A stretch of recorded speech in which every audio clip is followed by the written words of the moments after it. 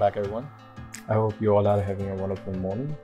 Today we are going to talk about how we can use a texture as an emission source and this was actually a request by Yusuf Shahin. I hope I'm pronouncing the name correct. Now he wanted to know how we can use a texture map as an emission source and still maintaining its original look and feel like how the texture is supposed to look and using it as at the same time using it as an emission source to make the object illuminate so today we are going to look at that. So let me just show you my scene. I have a simple model from TurboSquid and this is what my scene looks like. A simple HDR a backdrop and a base. And we are going to delete the HDR we don't we are not going to use it. Anyways this is just to show you how the scene is overall looking. So I have default material. So let's try to illuminate this glass over here and try to make it look like the television is on and kind of showing some news or anything so let's stop this for now and um, let's keep it here.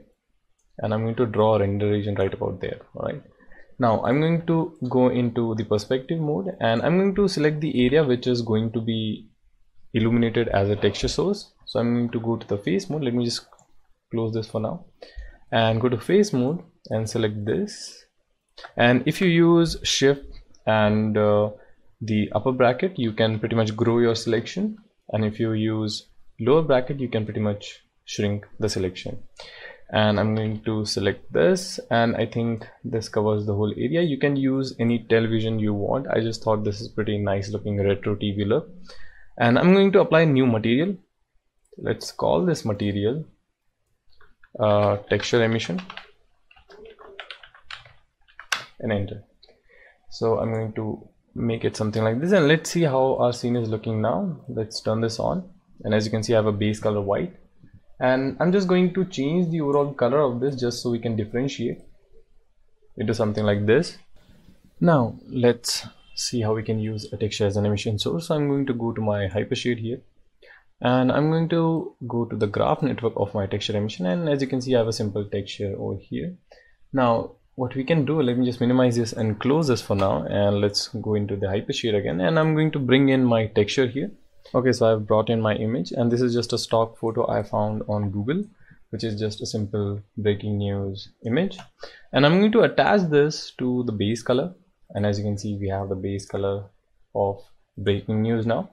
And if you look at this now in the IPR window we have something like this. Let me just switch this to the camera again and update the full thing yeah.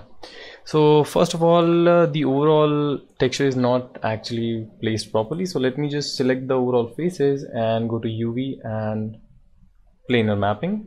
And I think this is about right. Let me just scale this right about here. And I'm going to rotate this to something like 270 maybe. All right. And if you want you can also change the overall projection height. I think height is overall good I'm just going to scale this. Okay so now I think it looks perfect. Okay from here as you can see it's not looking as the television is on. You are not actually any, emitting any light. So what you can do is you can go back to the material. And from here I'm going to turn on my emission. And let's turn this on. So it just makes everything fade away because it's completely emitting white light. So what we can do here is pause this go to the hypershade and I'm going to attach the same color to the emission color. Now if we go back and look at this now. As you can see this is now emitting the light from the texture. Now if I make this to this is pretty low. I'm going to turn off my HDR from here. I'm going to make this zero. Let's so as you can see this looks pretty fake and not interesting at all. I'm going to select this and go to the texture emission again. And uh, let's focus this. And from here I'm going to increase the emission strength to something like 1.2 let's make it 2 let's make it 5 Alright, we are getting the overall brightness, but the problem is our image is kind of being ruined because of the overall illumination. So I'm going to change this to something like 1, maybe 1.5 and that's it. So how to solve this? Now we have a texture glowing image, but we want that you can say illumination, right? So what we are going to do is we are going to take, let's take in direction light first to look at the overall scene first. Let's take this and uh, let me just close this and uh, there it is. Bring this up. Scale this up so it's easier. And let's manage this to something like this. Okay perfect. Pause this and let's close this. Okay. So what we are going to do is we are going to go to the Arnold tab take an area light bring this up bring this right about there. And the light is actually throwing the overall light on the backward direction. So I'm going to rotate this to about this direction. Let's make sure it's a complete 180 degrees and I'm going to place this light right about the overall area of the image. So somewhere right about there I believe. And let's scale this up now.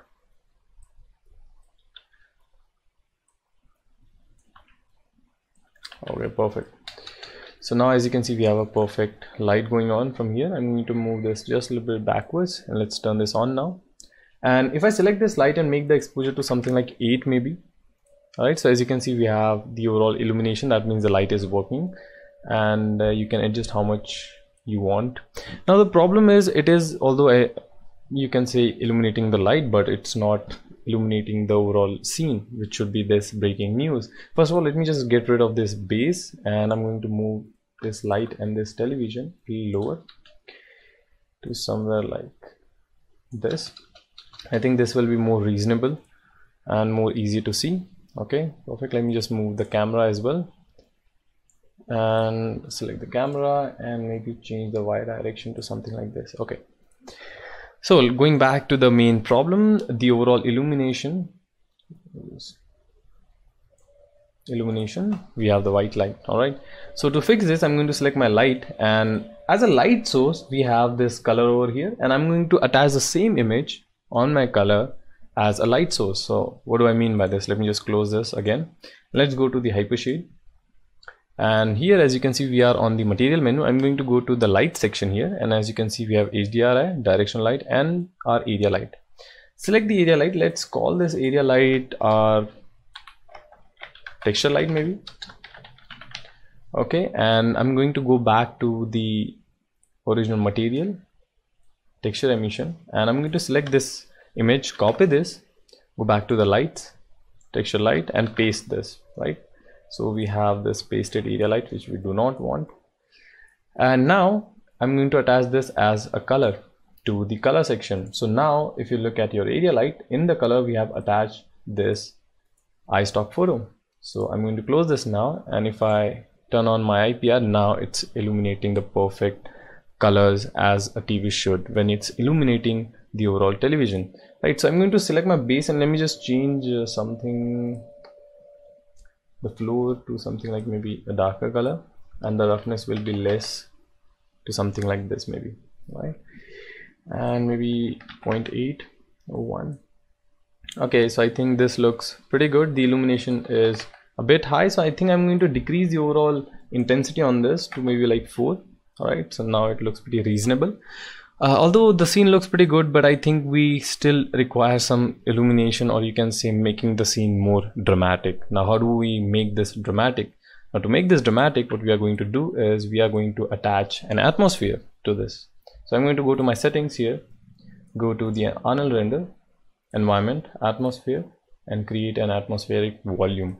Now if you don't have any idea about the atmosphere volume I've already made a video on this so make sure you check that out. I've explained everything on that and let's turn this on and I'm going to make the density to 0.100 and anisotropy to probably 0.6 and samples to 12 all right so I think we are getting the overall exposure here. Let me just get rid of this directional light for now so you can see the overall difference here.